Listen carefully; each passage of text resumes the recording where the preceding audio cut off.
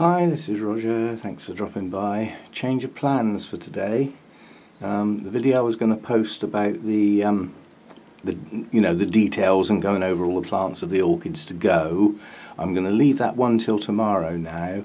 I've just had notice from the um, chairman that I've been invited round to take some of the plants from our um, previous chairman who sadly died on Christmas Day.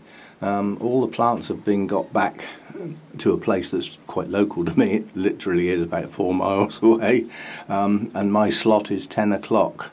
Um, so I need to make myself look pretty to go and do that. I don't bother when I'm not going out, but uh, as I've got to see people. And um, so that'll be this morning, we'll be dealing with that um, I'll see if I can do a little bit of filming, but that's not really the purpose of the event. And then obviously when I get back, I'll add on to this. We'll have a look at the plants that I get. I mean, I'm sure I'm going to find something suitable there.